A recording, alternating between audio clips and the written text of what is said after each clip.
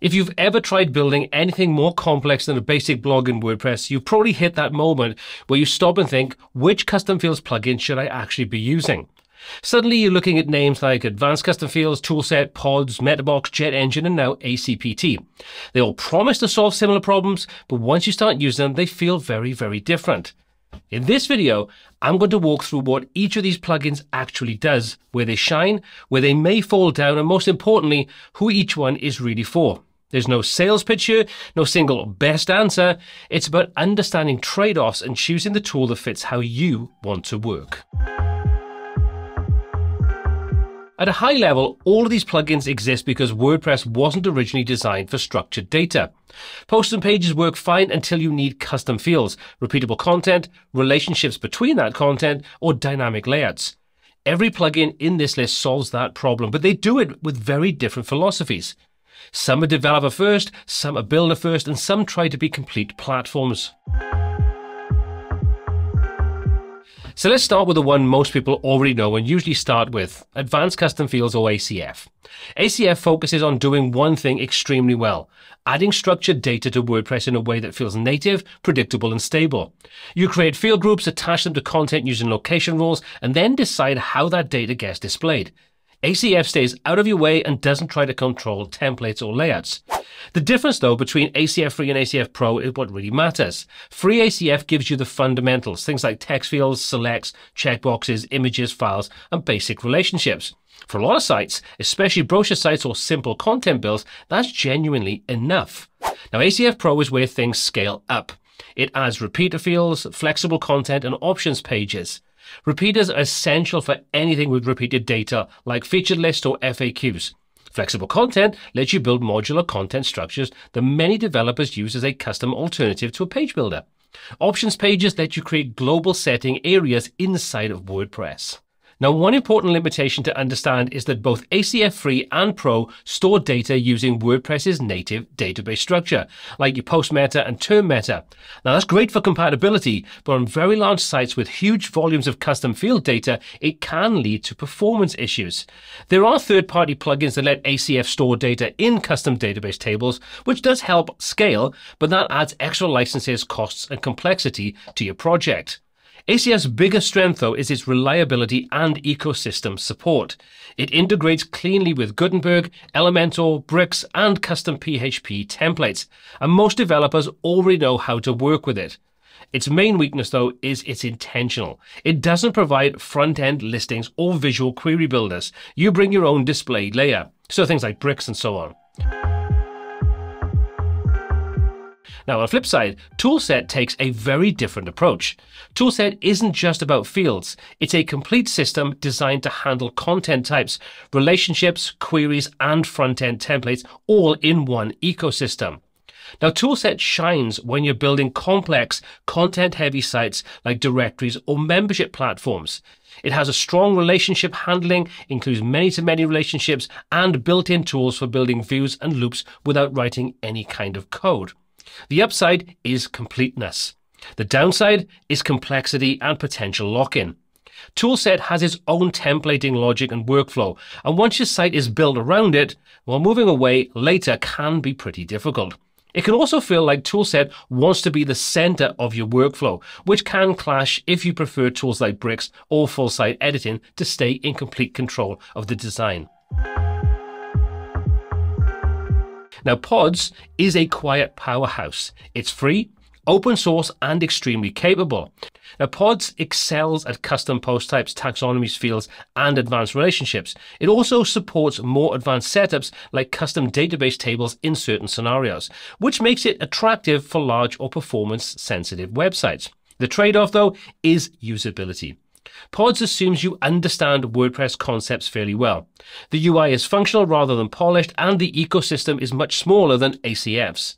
The differentiator is power without license costs. If you're comfortable with a more technical workflow, Pods can handle very serious projects for you without any kind of cost involved. Before we move on, let's take a moment to have a message from today's video sponsor, Omnisend.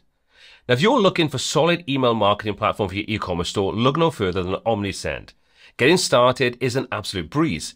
They offer some of the most affordable pricing on the market, and you can start with their free plan and experience premium features without spending a penny. It's the best quality to cost ratio you'll find anywhere. If you need help, rest assured, with OmniSend's award winning customer support, you're always a priority. It's available 24 7, 365 days a year, and you'll get a response in less than three minutes, making you feel valued and important. Now, don't just take my word for it. OmniSend is a top rated platform. With unbeatable pricing, powerful features, and exceptional support, the reviews speak for themselves. If you're ready to elevate your email marketing game, OmniSend is here to help. You could try OmniSend today and discover why they're the best choice for your e-commerce business. With unbeatable pricing, powerful features, and exceptional support. Link in the description down below.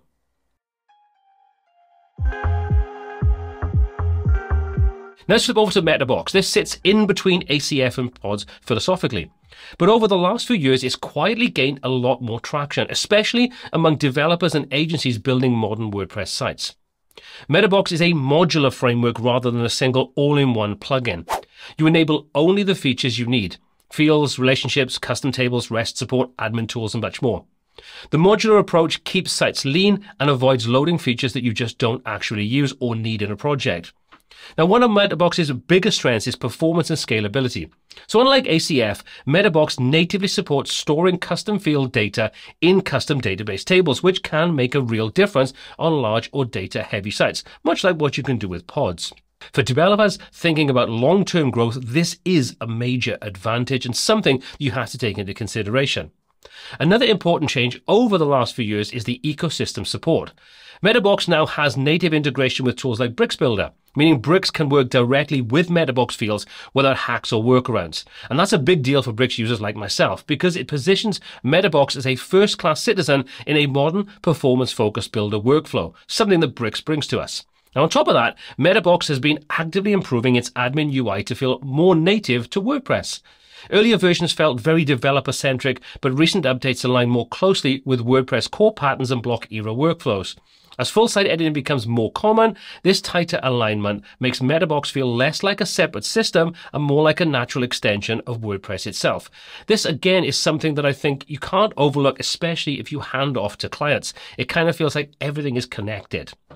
The trade off, though, is a little bit of complexity. MetaBox expects more understanding up front. It's not a visual listing builder and it doesn't try to be no code. It gives you powerful building blocks and expects you to assemble the system thoughtfully.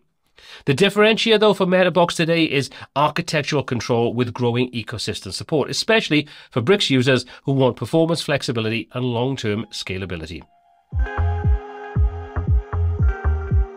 Now let's talk about ACPT or Advanced Custom Post Types takes a different angle yet again. It's newer but very deliberately focused on improving the workflow of managing post types, taxonomies, and fields without overwhelming the user. ACPT's biggest strength is how well it integrates across the WordPress ecosystem. It offers native support for a wide range of paid builders and themes, including Gutenberg, Elementor, Bricks, Oxygen, and many popular WordPress themes, including Blocksy.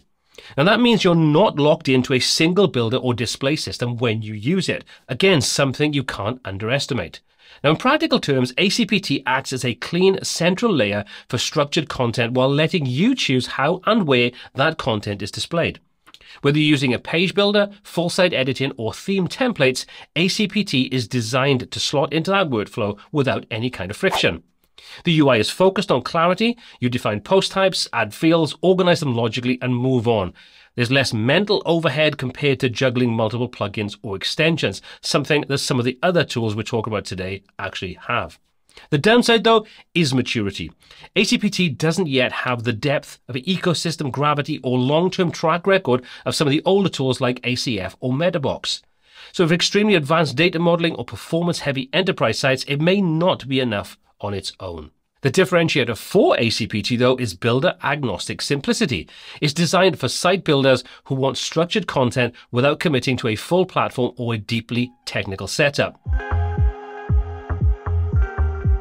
Now let's talk about Jet Engine. It's the most builder first plugin on this list, and it's also the one evolving probably the fastest. Jet Engine isn't just a custom fields plugin, it's a dynamic content system built for visual builders, especially Elementor, and increasingly for Bricks Builder. Now, Jet Engine lets you create post types, fields, relationships, and then immediately build dynamic listings, queries, and templates visually. That alone makes it very appealing for directories, portals, and marketing sites. But what's changed recently is Jet Engine's push into AI assisted workflows. It now includes tools that let you describe a site structure in plain language and generate post types, fields, relationships, queries, and starter listings automatically.